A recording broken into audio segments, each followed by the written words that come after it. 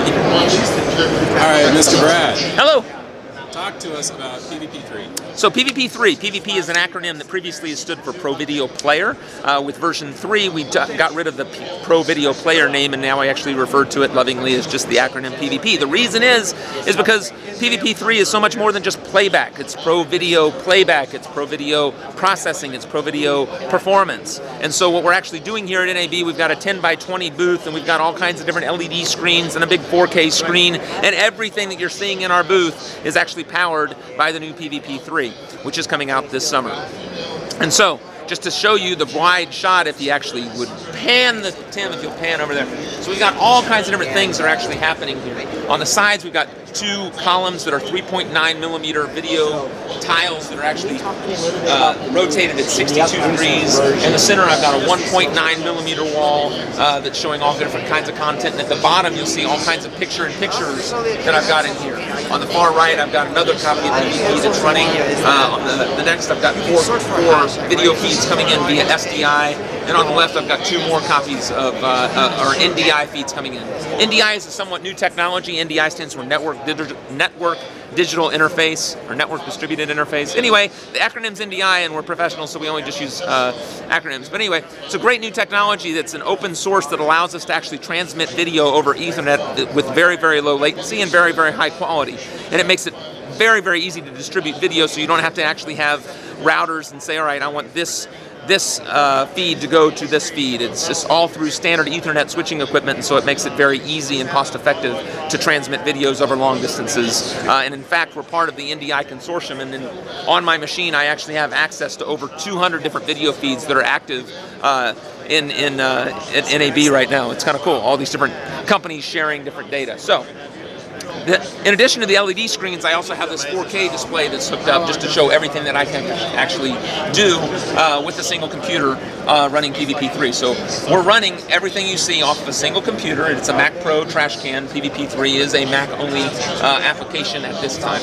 Um, and we have 15 different layers of content that I'm playing, both content that I'm playing back within PvP, uh, that would be the playback portion, and then uh, different videos that I'm actually getting live via SDI or NDI, and I can do different effects and whatnot on those just as easily as I do any content that I'm actually playing back within the computer itself. And so the interface has radically changed. So Tim's going to go over to my other side so he can actually see the interface. Um, and this may look very. Uh, I don't know, a little daunting. It's because we're doing a lot of different things. We can actually make this look really, really simple, just like it did in uh, with PvP2. Uh, I can shrink this down if I can actually get my hands on it. So what I actually have here is what looks like PvP2 very, very much, except for I actually have live video previews for each of the layers that I have, so I can actually see what's going on at a glance on all the different layers that I have happening in PvP3. So here are my live video inputs, and I can just see those in real time anytime I want to. So that's really nice as opposed to just a thumbnail that's sitting up there. Um, here's my clip libraries. I have my playlists over here on the left-hand side that I can pull up. And then to trigger things, I can just click on whatever layer I want to make it active, and then I can click it to make it live. So one difference that I have in PvP3 is uh, I have the ability to have target sets. We have global target sets. What does that mean? Well, let me step back. The workspace that I'm setting here, here is the workspace. So here is the center screen wall that we're matching up here, the 1.9 mil. And then the columns that are over on the left-hand side are what you're seeing on the left-hand side there, and the right-hand side over there. And then the 4K display that's represented right here is my 4K display that's sitting right here. So the targets, when I talk about targets, I have a spanned target that's called LED span. That has a single target that is spanning all of my LED screens. So as I move this around in real time, Tim pans up, you can see that it's actually moving that content around in real time. So it allows you to slice and dice the content in real time just based upon the displays that you have connected. So it's extraordinarily powerful. Um, but all these target sets are, are shared across all the different layers that I have. So a layer is just a, a socket, if you will, for a piece of content. And whatever content you're playing in that layer is going to be shown in all the targets that you have specified for that layer. So in this case, let me clear this out. On my 4K screen, I have a single video that's actually playing. Well, on my 4K sub 2, I have other target sets. And you can see the little previews of what these target sets look like. So for this one, you can see on the 4K screen, it's got little three little boxes. Each one of those is a target. So when I actually play content on this, and I'll choose these caterpillars, you can see it's actually playing those three different places. You can have as many targets as you want on your output, and they can span over multiple screens. Now what's also really cool is that I can actually do different video uh, effects. So I can add, and I'll say I want to make a blur. Well, when I turn on this blur, if you want to see over here, I'm just going to turn it off. It's, it shows as a blurred now. I can turn it off and it just transitions my effects on and off. And I can layer different effects. So in addition to this blur, I'm going to want to do, I don't know, we'll do an old film look, I guess. So there's my old film look with the blur, and I can actually choose what the order of things are, the order of operations. Do I want the blur to happen before the, the sepia tone effect? And I can save this as a uh, as an effect set. So I've cre previously created an effect set that's called a hex blur, and so when I select that, it's going to change everything, and now we have these little hexagon shapes. I don't know if you can see it through the camera or whatnot, but the point is you get a lot of flexibility and a lot of ability to actually save all the different changes that you're actually doing. Further, with all the different things we're actually showing on here, we're adding the ability to save what is presently live as a single cue. So, as an example, I have, I'm going to just clear everything out. Well, with 15 different layers of content, it would take a long time if I went clip by clip by clip to actually lay all that out. Well, I've created a single cue down here that has all 15 different layers, and you can see the little dots that appear under there. Each one of those is representative of a piece of content. Um, when I click on this, it is then making everything live exactly like I left it. So all 15 pieces and 15 layers of content are being triggered all at one time. So whether I want to actually predefine the content that's going into, into, each individual layer or I want to operate it on the fly, I have that flexibility. We've also added a new mode. In PvP2, we have this ability to set up what, what is called a macro, where you're defining the content that's going to each individual layer. But in PvP3, we've made it a lot easier because now we actually have an action view and my action view is going to show me all my layers and the columns that they exist, so it allows me to very easily see the cues that are going to each one of the, the layers.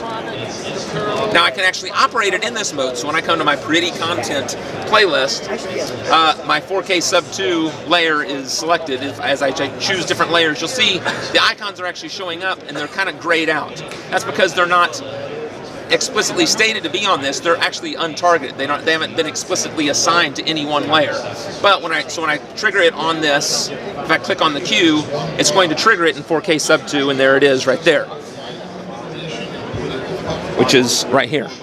But I can actually in real time choose where I want it to appear just by saying, oh, see it's grayed, it has sort of a grayed out. So if I want it to appear in 4K sub 1, when I click on there, it's going to trigger those caterpillars in 4K sub 1.